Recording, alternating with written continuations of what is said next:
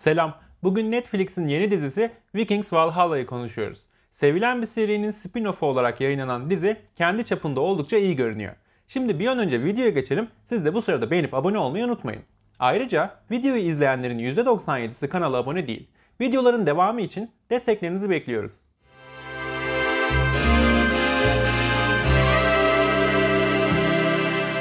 Vikings dizisinden yaklaşık 100 yıl sonrasının konu olan bir devam dizisi. Yeni bir kuşak kendi kaderlerinin efsanesi olmak ve gidişatı değiştirmek için çaba gösteriyorlar. Zaten dizinin başında geçen süreyi Ragnar'ın artık bir Viking efsanesi oluşunu falan anlatıyor. Güncel problemi de önden veriyorlar. Kral Vikingleri sorun olarak görüyor.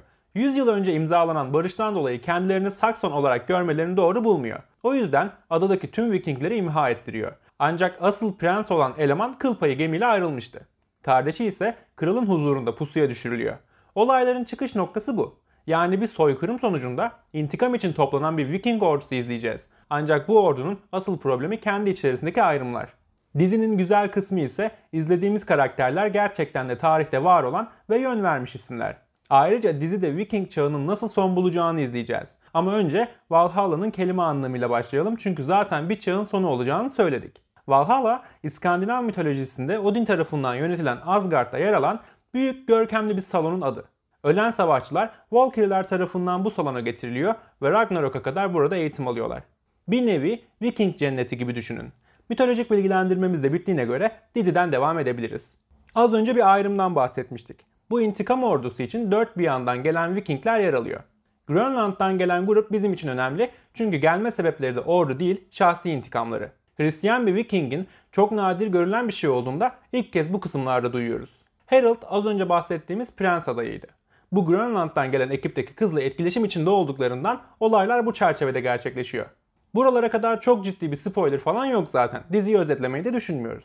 Diziye bakışımıza geçtiğimizde ise bazı noktalar çok iyi ele alınmış. Otorite sahibi kadın figürleri gerçekten bu gücü oldukça güzel hissettiriyor. Kralın karısı olsun, Vikinglerin başındaki kadın olsun, ellerindeki gücü çok iyi bir şekilde hissettiriyorlar. Hatta erkek yöneticilerin aksine kendilerinden fazla emin olmaları da çok güzeldi. Yavaş ilerleyen bir gidişat hakim. Muhtemelen 8 bölüme zorlamaya çalışmışlar. Bölüm başında ve sonunda hareketli bir kısım bize verilip heyecan yaratılırken geri kalan kısımda planlama, yolculuk, gündelik geçiştirilen durumlarıyla doldurulmuş. Bu da bir yerden sonra sizi çok yavaş bir tempoya sokuyor. Dizinin üzerinde durduğu temel konu soykırım muhabbetini bir kenara bıraktığınızda kendi içerisindeki din ayrımı. Hristiyanlığa geçen ve sıkı sıkıya bağlanan Vikingler ile eski inanışlara hala bağlı kalan ve bizce de gerçekten olması gerektiği gibi inanan Vikingler olarak bir ayrım var. Ayrıca bu geçiştirilebilecek böyle kısa kesilecek bir şekilde de işlenmiyor. Baya baya inanış ayrımları kendi aralarında gizli düşmanlıklara, gereksiz ölümlere sebebiyet veriyor.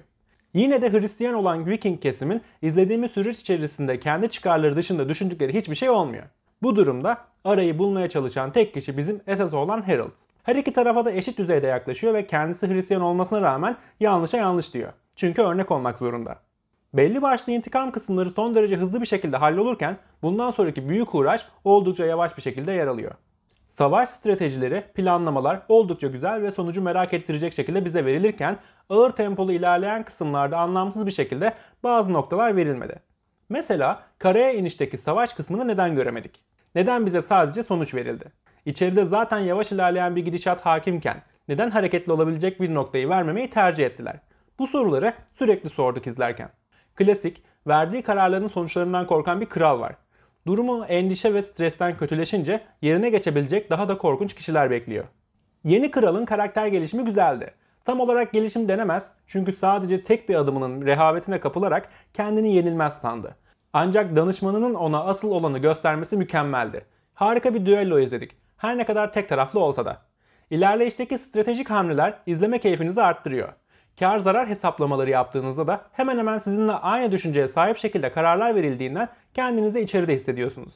Temel konu din olduğu için bunu belirten sembolleri bol bol kullanmayı ihmal etmemişler. Eski dine bağlı olanların totemleri, tütsüleri, adakları veya kutsal sayılan hayvanları yer yer bize verilirken, dualar edilirken Hristiyanlar da kendi sembollerini her yerde kullanıyorlar. Sadece Leaf baygınken gösterilen kız hayal mi gerçek mi bu havada kaldı. Hayalse bile burada Hristiyanlığın kutsal öğretilerine bir gönderme yapmaları iki din arasında bizim bakış açımızı şekillendirecek cinse bir hareketti.